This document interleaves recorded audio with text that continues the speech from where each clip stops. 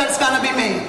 The first one is from the office of the borough president of Brooklyn, and it's a citation. It says, real quickly, I'm just gonna do the first paragraph. It says, whereas Brooklyn is proud to be known as the Caribbean capital of America, and it is a time-honored tradition to recognize the outstanding contributions of individuals whose life and work reflect their heartfelt commitment to their community. It is fitting that we take note of the extraordinary accomplishments of outstanding individuals of Caribbean origin and descent. And it goes on to talk about these three brothers, Bunny, Tabby, and Judge, who have been together as a trio known as the Mighty Diamonds for 40 years.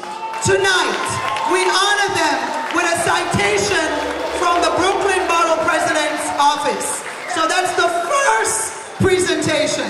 How you all doing out there? How you doing? First of all, I'd like to give thanks to the Father I would like to give thanks to the, the committee and the Congress, right, for presenting reggae music over the years. See? So we love to hold on the bad.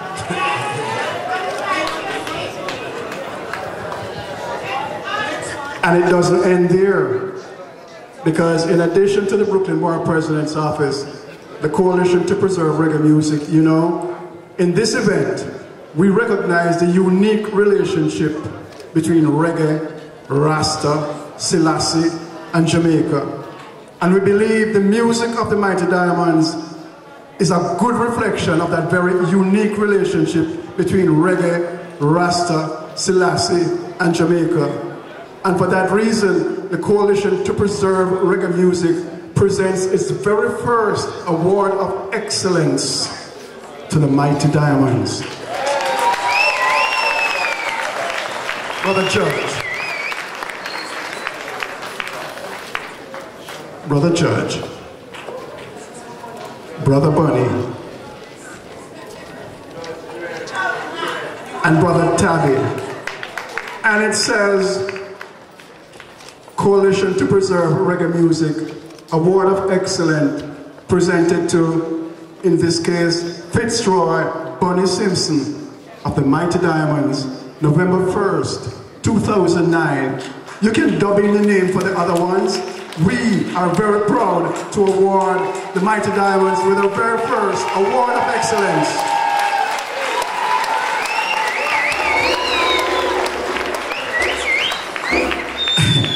Respect. You see, when we were in school, we were taught that the heights that great men reached and kept was not attained by sudden flight, but they, while their companions slept, were tiring upwards through the night.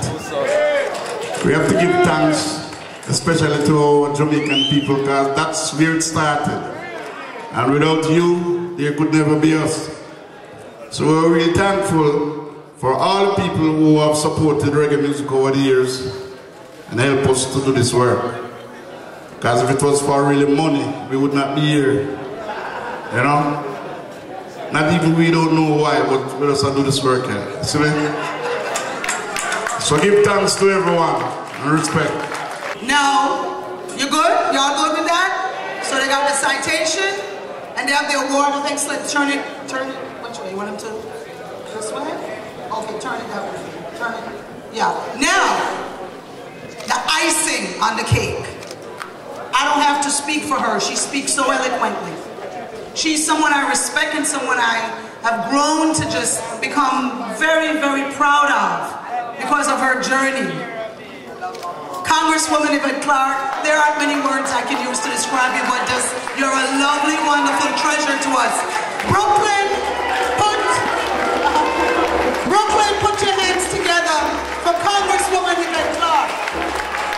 Now, I, am not gonna, Brother Carlisle wants to say something before the Congresswoman speaks because this is a very special occasion for us here. We're very honored to have her in the house. Brother Carlisle, and then... Thanks for the opportunity and thank you very much, Congresswoman. Before you speak, I just wanted to say how elated I am that the government and people of the United States have chosen to recognize Rastafari.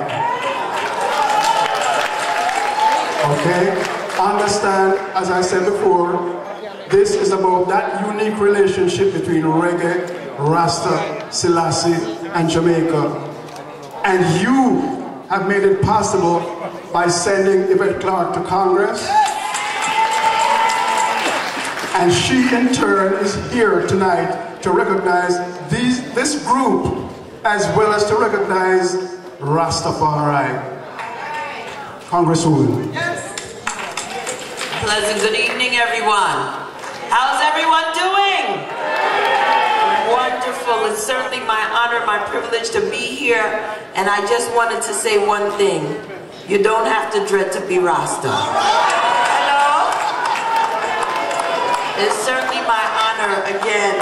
I just wanted to take a moment and also just big up Sharon Gordon and Carla Mukeni.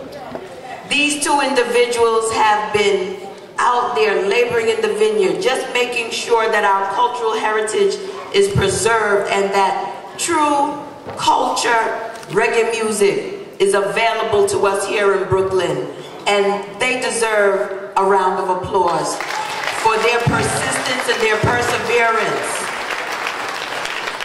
I am honored to be here this evening as we pay tribute to the wonderful legacy of one of Jamaica's most successful reggae groups ever, the Mighty Diamonds.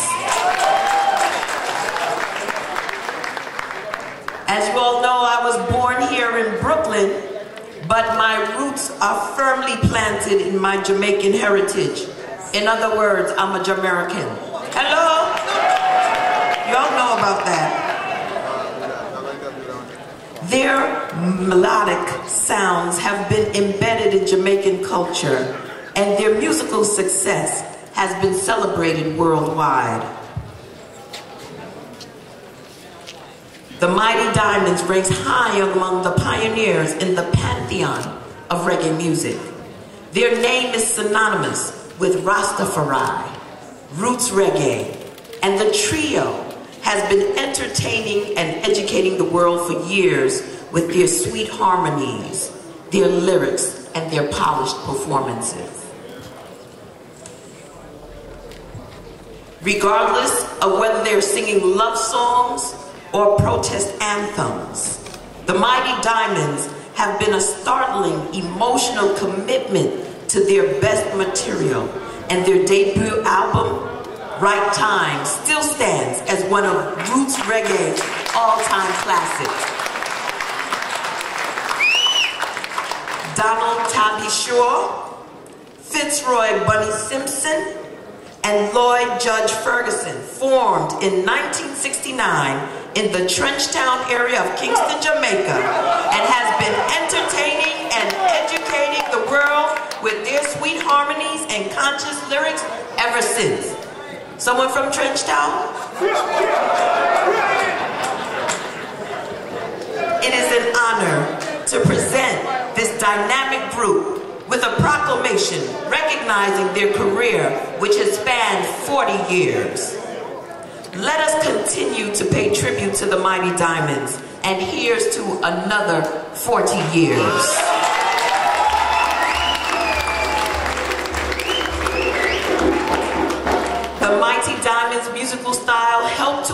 A spark in future generations of musicians and Jamaicans. I am deeply honored to join you today in recognizing the longevity, wonderful work the Mighty Diamonds have done to further the advancement of reggae music worldwide. And now it is my pleasure to present to them this proclamation.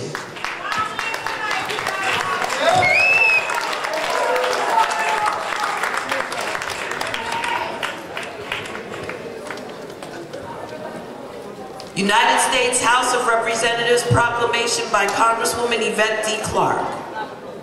Whereas the Mighty Diamonds was formed in 1969 in Trenchtown, Kingston, Jamaica, also home to Bob Marley, with founder and harmony sing singer Pat Lloyd Ferguson, also known as Judge, Diamond, or The Judge.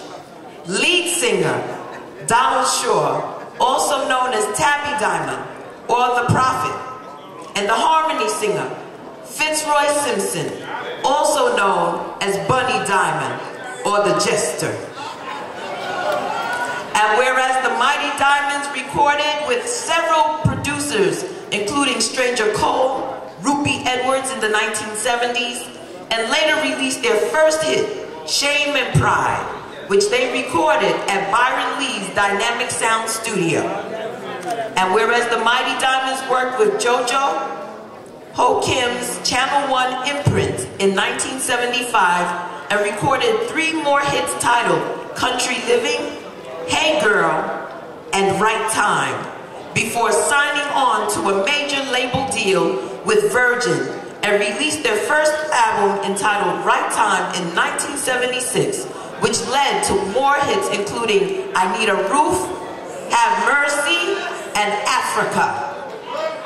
Whereas, on behalf of the United States House of Representatives, I salute the Mighty Diamonds for their service and dedication to our community and highlight that their positive and legendary contributions are what make our nation great. And I bestow upon you the highest honor as a member of the 111th session of Congress. I now therefore, Yvette D. Clarke, Member of Congress, representing the 111th Congressional District of New York, do now acknowledge the mighty diamonds with great honor